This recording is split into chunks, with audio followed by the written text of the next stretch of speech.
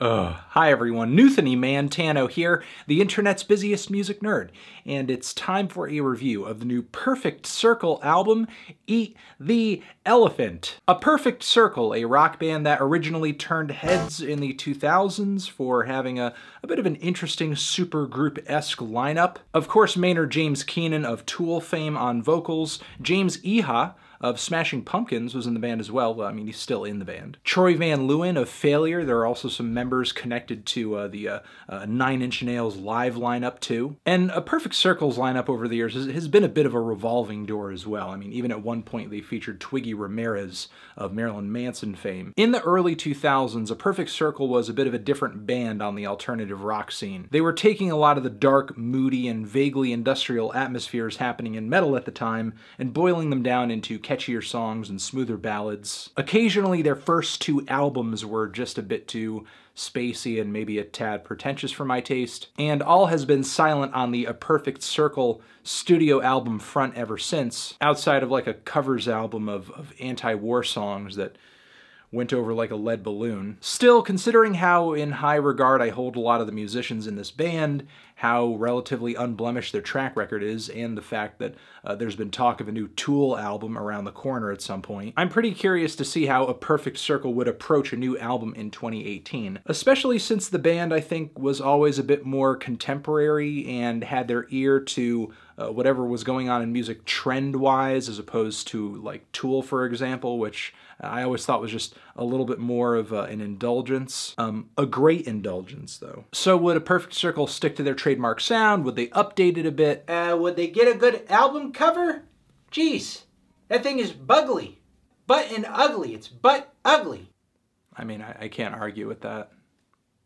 A Perfect Circle does work to change their sound quite a bit on this record, to the point where some of the musical passages on this album sound like they've been ripped straight out of the post-rock playbooks of bands like Mogwai or even Mono. And A Perfect Circle has always had a relatively dynamic and dramatic sound, so it's not really all that surprising that they would take things in this direction. However, I didn't think some of the new material on this record would essentially be reduced down to really stiff lifeless piano rock, though, like on the intro, the title track to this thing. The band puts a bit more gas in the tank on the next track, Disillusioned, while the glistening and spacey piano passages on this thing may be a little uh, overly dramatic and heavy-handed, they do balance out with the consistently groovy, ominous, and heavy alt-rock sections. Also on this track, some pretty dystopian lyrics about uh, humanity at large being overtaken by uh, animalistic desires. Man just chasing after anything glimmering, becoming easily distracted. There's a bit of a pretentious technology addiction angle to this track as well, which I don't think is all that well put, nor do I entirely agree with it. I mean, mankind has always been addicted to some kind of technology. I mean,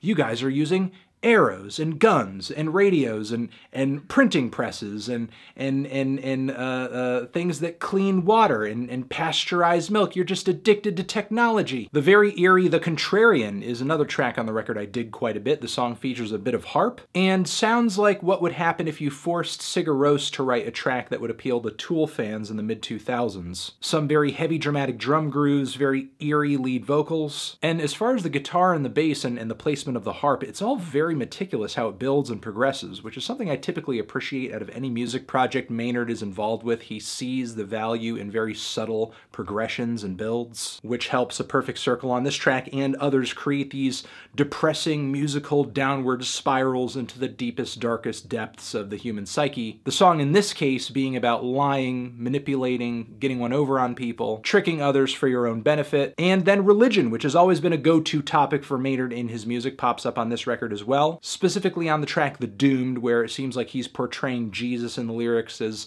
dying and that kind of being a moment of abandonment of not only him but also humanity in general, as we now live in a world that Maynard portrays as being evil, filled with sloths and gluttons and the like. The instrumental's not half bad either. Themes of Jesus and, and religious virtue also come up on the track Talk Talk, essentially about how praying without any kind of action or effort to do anything or change the evil in the world is useless and meaningless and pointless and futile and why the hell are you doing it? Now, I don't 100% know what Maynard's interpretations of the teachings of Jesus Christ are, but whatever that is, he clearly is of the opinion that those both theist and, and not so theist are, are falling very short of that. There's also an incredibly dark, dense, and overwhelming finish of bass and guitars just layered and stacked to an orgasmic intensity at the finish. So Long and Thanks for All the Fish is one of the most richest, most harmonious, and, and maybe most celebratory tracks on the entire record, although it is a song that seems to be about uh, doomsday. A melodic send-off for the end of the earth, obviously. The title is a huge and obvious reference to The Hitchhiker's Guide to the Galaxy, so if you've ever read that book or seen that movie, you kind of get what the band is going for thematically as far as the lyrics go on this track. However, after this song on the track list, I, I think the album mostly kind of trails off though in terms of quality. DLB is a kind of gothic and so-so piano passage, which I guess is fine as an interlude, but uh, it's it's not like it's kind of giving us a break from anything that we need a break from on this album. Much of the record is pretty pensive, very moody, very introspective. What this moment on the record is giving us kind of a breather from, I don't know. Meanwhile, the track Delicious features some of the most clunky and pretentious lyrics on the entire album, with Maynard just trying to pack 10 pounds of verbiage into a a few minute song. I mean, I appreciate his wish to make sure that there's some kind of meaningful, deep, spiritual or socio-political message running through every single song here, but this is clearly an instance where, where the, the, the tune of the track suffers at the hand of Maynard trying to fit everything he can think of during his vocal passages. Not to mention the instrumental on this track sounds like it could have landed on OK Computer or like even Radiohead's The Bends. Not exactly sure what's what's driving that change of pace. And to try to take it back to the lyrics, uh, easily the song that comes away with the worst of them has to be the closer. That is the song Get the Lead Out, which if you look at the lyrics here, they're easily the most redundant, repetitive, and tedious on the entire record. I mean, maybe there's a particular idea here that Maynard is attempting to communicate on this song, but uh, whatever it is, he doesn't really build it up or explain it all that well. And then there's the borderline laughable, a very heavy, very dark, very funky Hourglass, which features not only rapping at the intro of the song, or at least what sounds like it,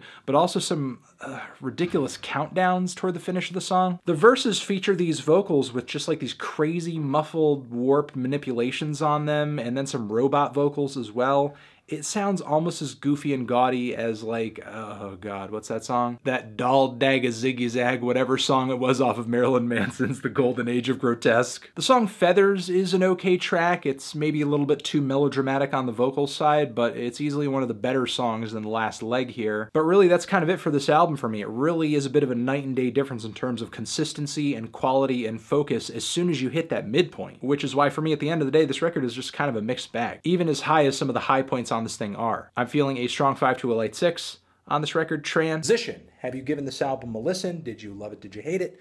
What would you rate it? You're the best. You're the best. What should I review next? Hit the like if you like. Please subscribe and please don't cry. Just leave an angry comment in the comments if you're angry. Uh, also hit the bell as well. And over here next to my head is another video you can check out. Hit that up or the link to subscribe to the channel.